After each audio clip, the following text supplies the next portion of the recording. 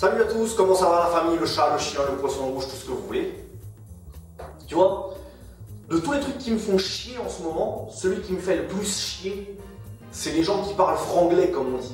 Alors attention, je parle pas des gens euh, qui utilisent des mots euh, bah, qu'on utilise régulièrement, genre week-end, meeting ou je sais pas quoi. Moi le premier j'utilise ces mots-là, donc euh, voilà.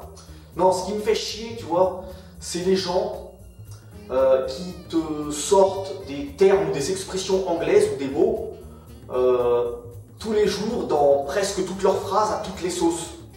Hein, notamment les gens qui sortent souvent Oh my god, Oh my gosh, OMG aussi. Parce que tu as les gens qui parlent en SMS, tu vois, comme s'ils envoyaient des, SMS, mais qui parlent ça en vrai. Alors déjà quand ils le parlent français c'est ridicule, mais alors en anglais c'est encore pire. Ou alors ceux qui finissent toutes leurs phrases ou presque par euh, whatever, anyway ou je, sais pas quoi d'autre, tu vois. Mais alors le pire, le pire, c'est cette mode que je vois depuis un moment sur Twitter notamment, les gens qui euh, remplacent le mot humeur par mood qui essaie de traduire littéralement mot à mot donc des phrases anglaises en français et puis qui te remplace un mot français par un mot anglais. Hein, par exemple, les gens qui remplacent le mot humeur par mood, ils te sortent euh, à toutes les sauces je suis dans un bon mood, je suis dans un mood de Noël, je suis dans le mood des vacances, j'ai le mood de ceci, le mood de cela. Mais putain, fermez vos gueules. Mais c'est quoi votre putain de délire à la mort moelleux?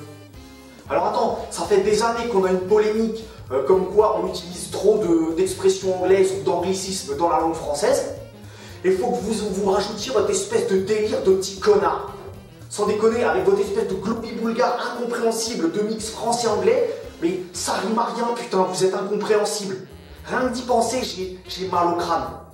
Vous imaginez même pas le nombre de gens qui ont envie de vous foutre une paire de baffes dans la gueule pour vous remettre les idées en place, sans déconner. Attends, on est en France, tu vois, il y a une seule langue officielle, c'est le français. Alors c'est quoi votre espèce de délire de mélanger moitié de mots français, moitié de mots anglais dans une phrase? C'est quoi le problème? Le français c'est plus assez euh, branché pour vous? C'est trop français? C'est pas in? C'est pas cool? Ça vous arracherait la gueule de parler français correctement? Mais putain, si vous voulez jouer les anglophones de service, mais, mais cassez-vous Allez dans un pays où les gens ils parlent anglais Cassez-vous au Royaume-Uni Là déjà, vous nous ferez des vacances Hein, et en plus, au moins, vous en aurez pour votre argent. Parce que là, vous pourrez parler anglais autant que vous voulez. Là, il n'y a pas de problème, tu vois.